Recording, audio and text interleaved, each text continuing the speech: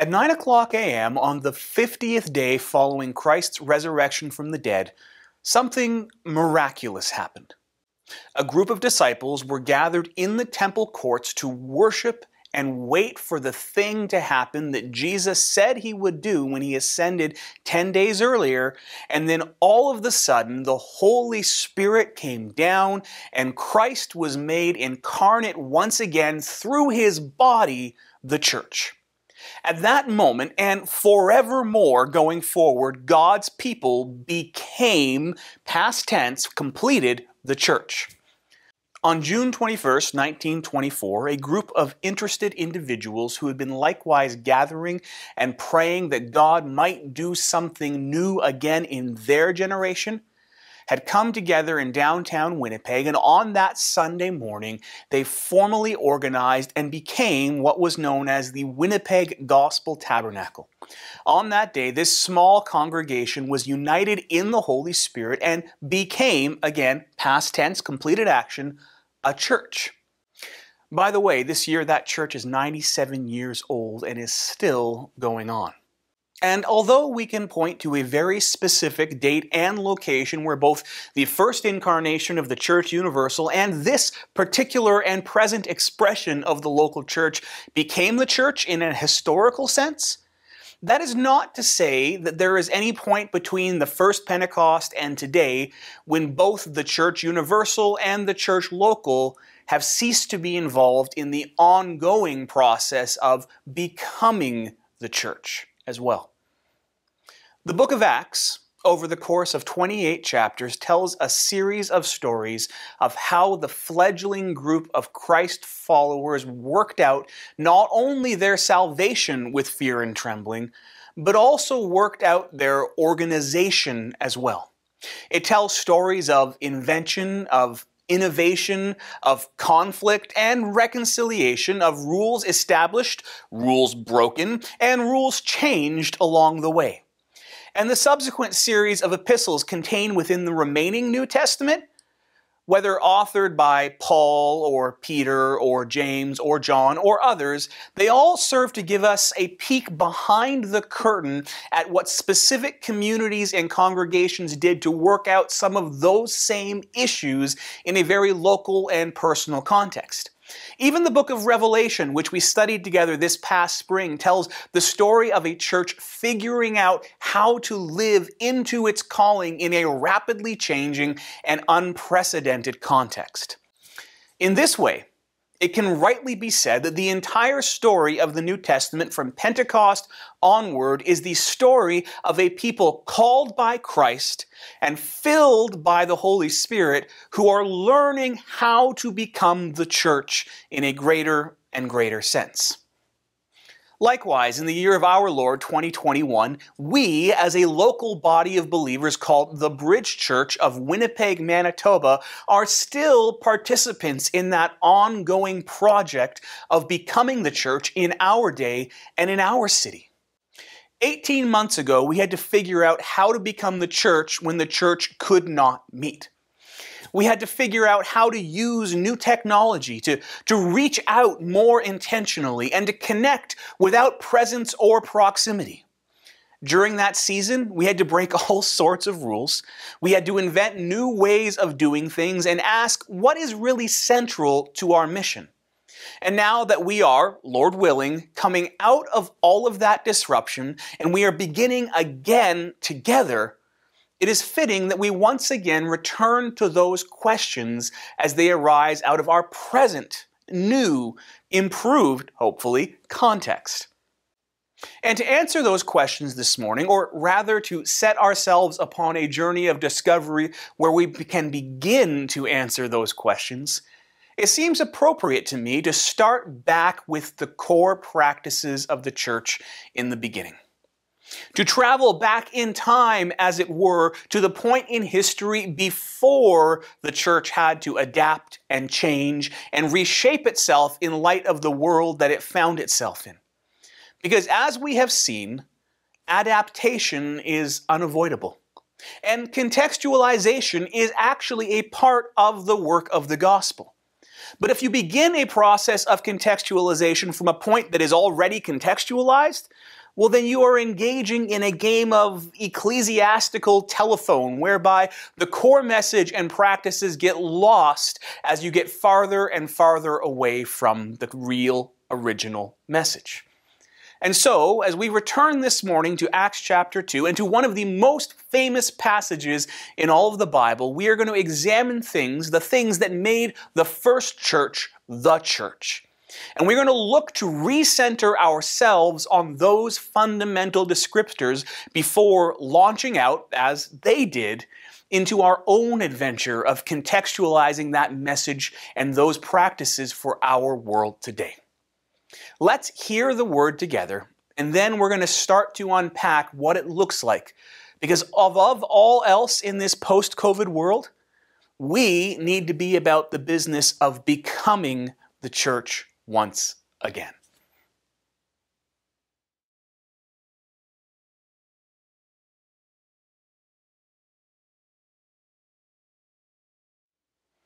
They devoted themselves. When was the last time you devoted yourself to something? To a vocation or a mission or a cause, a pursuit, a person? What does it mean to devote ourselves to something? I still remember my wedding day just over 18 years ago when I devoted myself to Joanna. I remember my ordination Sunday when I devoted myself to my calling as a pastor. I remember each of the dedication Sundays for my children where I stood before the church and proudly devoted myself to the task of raising them well and in the Lord. What have you devoted yourself to? Or let me ask you the question a different way. What have you died to? You see, devoting yourself to something is another way of saying that you are dying to the alternatives. You cannot devote yourself to a plan of health and fitness and continue to hit up the drive through for a double cheeseburger three times a week. You cannot devote yourself to a vocation without giving up the search for a better career in a different field. I couldn't stand before Joanna in a church and devote myself to her fully at our wedding day without dying to the option of finding someone else out there who was better for me than she was. Now, to be honest, that was an easy task because there is no one better. In your baptism, you devoted yourself to Jesus, but also to his church. And in doing so, you died to a life ruled by and in service to self interest and self glorification. You devoted yourself to the church and you died to all other more convenient or less demanding options in the world. And so we read that the earliest church devoted themselves to these practices that came to define their fellowship more than any other doctrine that would be developed in latter years or centuries. They were known for and by these things. Now, taken in order from the text, they are these four things the apostles' teaching, the fellowship of the body, the breaking of bread, and prayer. Together, these four practices, which I call the core four, seem to form the basis for everything else the church did, whether it be discipleship, mission, worship, or just being community, the church was the church because Jesus made it the church, but it was growing into that identity through the practice of these activities. Let's look at them individually first this morning. First, the apostles' teaching. Now, what is the apostles' teaching? Well, simply, it was the tradition handed down to them by the apostles. Now, we might want to simplify it to say, well, it's the Bible, but that would actually be going too far. Because at this point in church history, um, there was no New Testament. Those stories and letters would not be written for a decade or more into the future from this point when they met. What they had to study were the Jewish scriptures, which we refer to as the Old Testament, and the faithful proclamation of the gospel, as well as the newly contextual interpretation of those scriptures by the apostles. It seems that whenever they met, whether it be in the temple courts or house to house, which they did both, they would spend time considering the apostles' teaching about Jesus and what that teaching meant for how they lived and what they were supposed to do. They were a community thirsty to know more about Jesus, to know more about what he was calling them to. And so, whenever they met, we read they devoted themselves to this teaching. So, that's the first thing. Second thing is fellowship. Now, this may go without saying at this point, but you can't be the church alone. To be a community like the church requires you to be doing life with other people. I mean, you can love God on your own, but remember what Jesus said. The second command is like it, or that the second command is part of the first command, depending on your translation. And that is this love your neighbor as yourself. The Holy Trinity is relational. The incarnate Christ was relational, and so his people must likewise build their lives around relationships. Not that their relationships were always easy or harmonious. Even the apostles sometimes experienced infighting. See Galatians chapter 2 for more information on that story. Uh, but they were devoted to making fellowship work in their context. Thirdly, we have the breaking of bread. Now, this practice was also multifaceted. Yes, at its most basic level, we can read this as having to do with the table of the Lord's Supper, or communion, the, the table you see before you in the auditorium this morning. Jesus, after all, commanded his disciples to do these things in remembrance of him whenever they gathered. The church that is devoted to the historical pattern of worship is one that gathers around this table regularly. But in a broader sense, it was about the practice of breaking bread together beyond this holy meal. You see, in the earliest days of the church, before there were church buildings or cathedrals or professional clergy or the institution of the church, the people gathered to share table hospitality together. In the culture of their day, there was no more intimate and meaningful act of fellowship and relationship than sharing a meal with people. And so we see as the pattern of the church that the agape meal, or the love feast as it is sometimes called in English, was a larger gathering of believers where they could eat together, share a meal, and then the Eucharist or communion was a central part of the larger experience. To bring it down to brass tacks, we could say that the earliest Christians were devoted to sharing life together through table fellowship the colloquial breaking of bread, if you will. And lastly, they were devoted to prayer. They devoted themselves to prayer. You see, there was nothing that they did in those days that was not saturated in prayer. They believed in prayer. They believed that when they prayed, God heard them. And they believed that when they prayed, that they heard God as well. The earliest Christians believed that when they prayed, the world changed around them. That prisoners would be set free, that powers would be toppled, that the persecuted would be protected, that the sick would be healed. And because they believed these things, they devoted themselves to the practice of prayer. Their actions, their, their practices followed the pattern of their beliefs. And I wonder here this morning, as the congregation called the Bridge Church gathers for the first time in far too long, what is it that we believe enough in to act upon? What is it that we believe enough to devote ourselves to? And if we believe, as they did, in these things, then how might these practices form the foundation for our renewed journey toward becoming a church in the post pandemic landscape of 2021 and beyond? We're going to pause the message here for a few more items in the service liturgy, and then I'll be back to explore those questions with you just a bit further. Hang tight, I'll be back in a moment.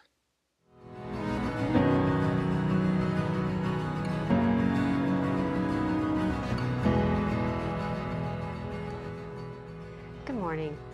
My name is Trisha Akerly, and I'm one of the elders at the Bridge Church, and I'd like to take a moment to talk to you about the offering.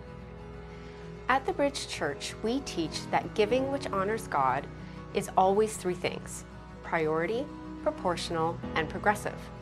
This morning, I would like to speak about that first value giving ought to be a priority. We know it can seem like a challenge sometimes to give when our own desires and needs seem to never be satisfied.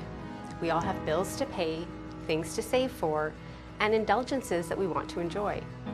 But the scriptures tell us that God desires not what is merely left over after all our other needs and wants are met, but rather the first fruits of our income. Practically, that means we are a people who are committed to radical trust that what God has provided us with will be enough to meet our needs, even if we give Him what He is due. As the scriptures promise us in 2 Corinthians chapter 9, each of you should give what you have decided in your heart to give, not reluctantly or under compulsion, for God loves a cheerful giver. And God is able to bless you abundantly, so that in all things, at all times, having all you need, you will abound in every good work. If we make God our first priority, He promises to make sure to meet our needs. That is what we mean when we say that we teach that giving as a part of worship is a matter of priority.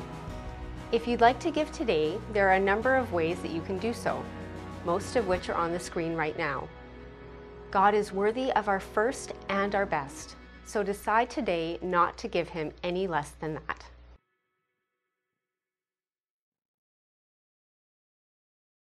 So, what does it mean to be devoted to those same things today? And how might that devotion help us build a foundation for our pursuit of becoming the church more fully in our context? Well, let's start with the Apostles' teaching. It's probably the only one of these four practices that was not significantly disrupted to a negative effect during the pandemic. You see, from the very first week of COVID, we were able to pivot to our online services so that the preached word could continue to go out.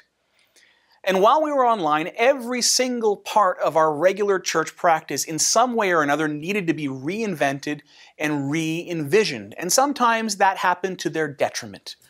Unfortunately, I mean, we got better and better each month at doing music online, but even our very best online worship set pales in comparison to joining the choir of the congregation in song here together this morning. And, and, don't get me wrong, I loved the creativity behind our Kids Min moments.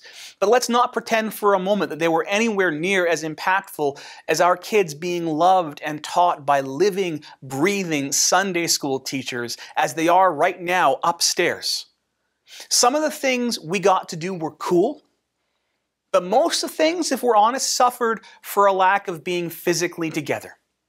But the one thing that was able to continue largely uninterrupted through COVID was our preaching time. Now, whether you prefer the old format or you've come to appreciate this new format of teaching, uh, we never stopped opening up the Word and take it, talking about it every single week. And if we are to continue on the path of becoming the church, we never can.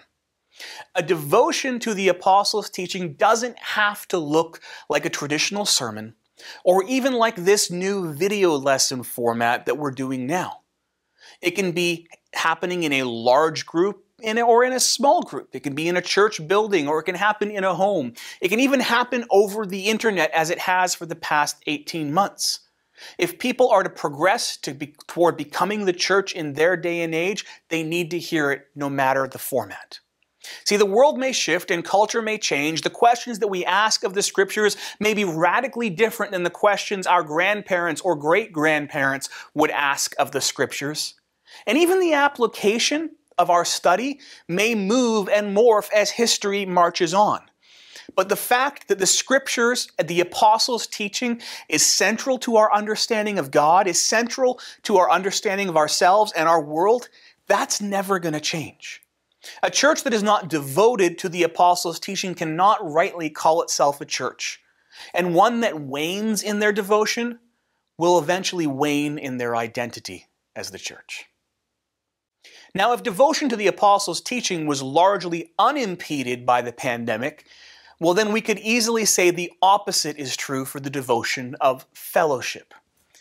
Whether that is a formal fellowship in a worship service or an informal fellowship with fellow believers outside of a church event, We have felt the strain of isolation and the absence of friends and loved ones through this past season. And even as we now are coming back to a place where we can be together, we're finding that it's not as effortless as we might have imagined coming back together being. You see, the thing about relationships is that they're dynamic. They are never static, and so you cannot be in relationship without change happening. You cannot be in relationship without work being needed. You cannot be in relationship and expect it to always be easy. In Christian fellowship, we will disagree, and we've changed our opinions and we disagree on things. Sometimes we'll disagree sharply. But to be devoted to the fellowship means that we die to the self centered, easy path of only associating with like minded people. See, this is honestly one of the great dangers of our age and something that right now we need to be on guard against in the church. Friends, we will not all agree. Right now, we are in a polarizing season in the world. We are in the midst of an emotional and at times contentious federal election. We are divided over issues like vaccine passports, public health mandates, and economic assistance programs. But to be devoted to the fellowship of the church means that we have died to our own interests and preferences as things that might be ultimate. The latter description that the people had everything in common is not a statement about how like minded they were on every matter.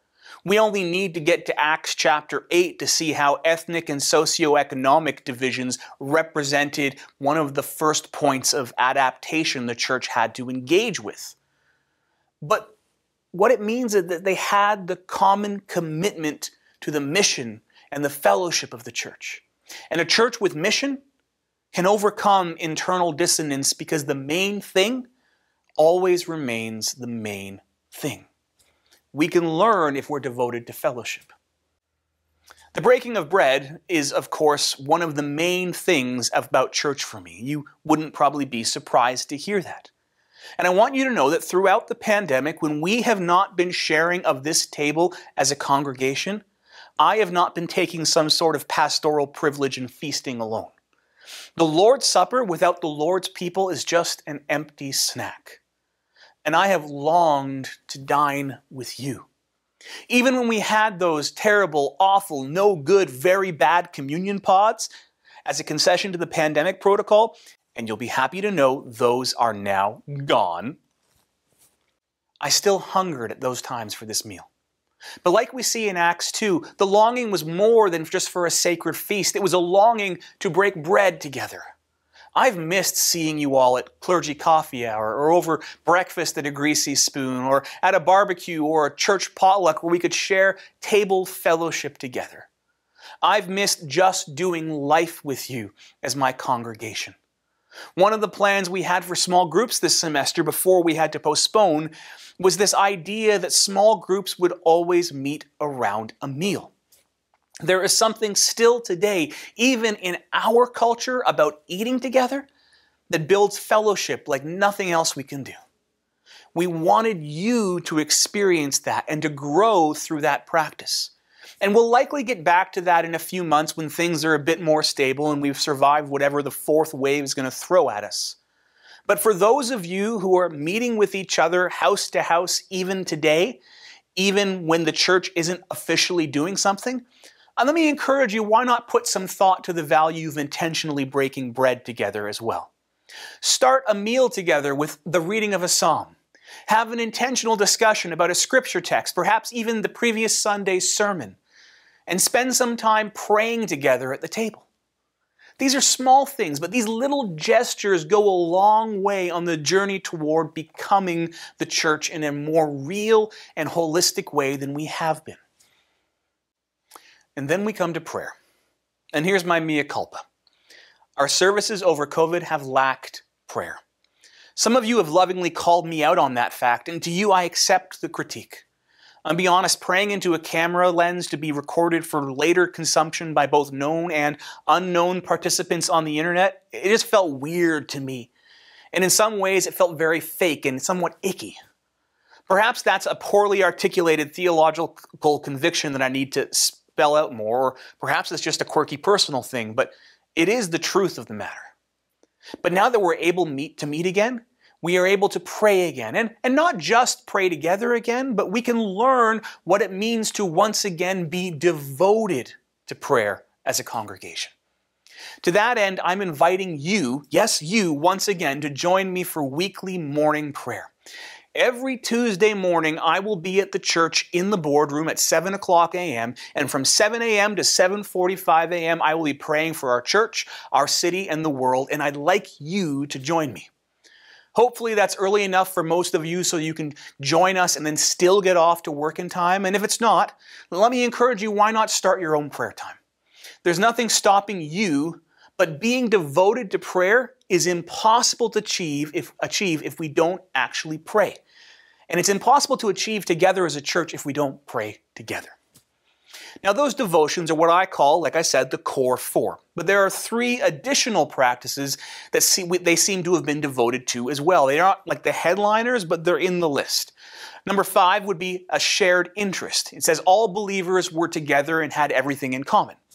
Number six would be generosity. They sold property and possessions to give to anyone who had need. And note that that's not just the church, it's to anyone. And then number seven was worship. In all things, they continued to praise God. Next week, we're going to continue this examination of Acts chapter 2 by looking at those final three practices and how they bolster and animate these core four practices. But for today, let's ponder together how a priority of devoting ourselves to these practices might help us hit the reset button in our experience of being the church and help set us on a new path. With that being said, let's pray.